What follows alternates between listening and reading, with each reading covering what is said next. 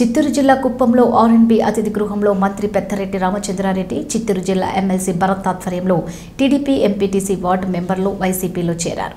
YCP తీర్థం పుచ్చుకున్న TDP ప్రస్తుత కంగుంది రెండవ సెగ్మెంట్ ఎంపీటీసీ మోహన్. అదేవిధంగా కుప్పంలో నాయనూరు పంచాయతీ ఎనిమిదవ వార్డు నెంబర్ దివ్య సుధాకర్ మరియు తెలుగుదేశం పార్టీ సంబంధించిన శంకర్ కార్యకర్తలు వైసీపీలో చేరారు.